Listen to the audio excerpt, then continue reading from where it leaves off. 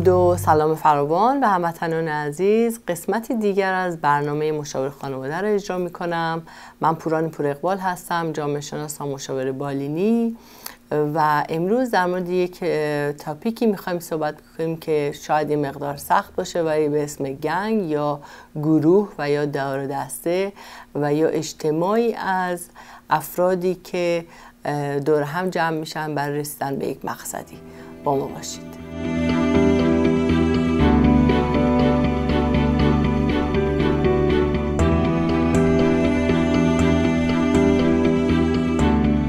ممکنه در ذهن شما این سوال پیش بیاد که چرا این تاپیک رو انتخاب کردیم ما؟